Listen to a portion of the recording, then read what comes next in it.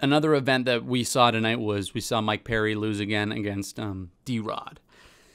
And a lot of people are just saying that Mike Perry is not fighting the way Mike Perry fights. I think he was, yeah, he hasn't really been his um, original self in his last few outings, but I think that D Rod is just better than people think he is. I can say that personally, he's definitely better than I thought he was. The first couple times I saw him fight, you know, he has a weird way of throwing his punches, but somehow hits just unbelievably hard, even though he's throwing them kind of funny.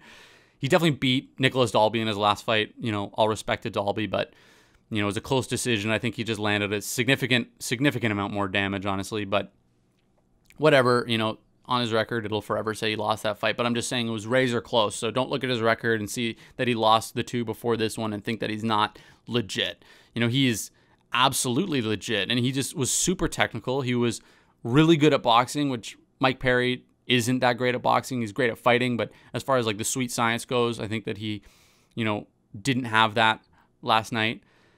And I think that before thinking that, you know, Perry isn't good, because he's still great, he's still super tough, unbelievably tough, I think we just got to give respect to D Rod, man. That guy showed up. It was it was perfect. His fight was perfect. He got clipped like once or twice, didn't even didn't even get fazed. You saw that he got like pumped up multiple times throughout the fight, and instead of like swarming him, instead of going crazy, he just kept to the jab, kept to the right hand, left hand, kept it kept it clean, and just sort of boxed him up for three rounds. Epic to see.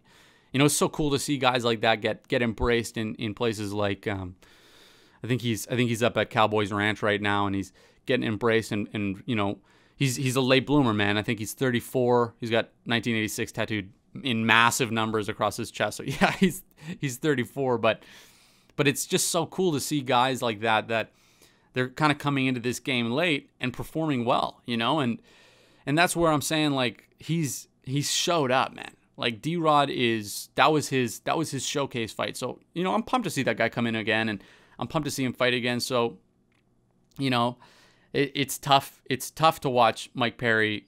Um, I was always a big fan, super huge fan. You know it's tough to see him lose, but I just think that people are forgetting that his opponent like was a serious opponent last night. He was in shape. Mike was in shape. Um, he looked good, like physically. He had a coaches in his corner again, which was great to see.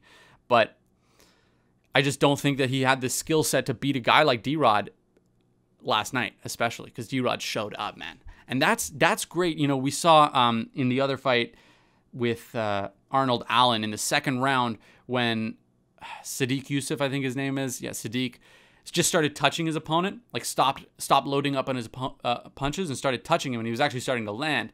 And he actually did really well in in those exchanges. Once he made that adjustment and started touching him, he was doing really well. Well, D Rod did that the whole fight, and yeah, he was landing hard, hard shots, but he wasn't gassing out on a guy as durable as Mike. He he was staying super super disciplined, and I think that's a lesson to take from all of us that you just got to stay disciplined, man. If you stay disciplined and know that a fight's three, five rounds, and that you know you're probably not going to get these guys that are as durable as guys like Mike Perry out of there.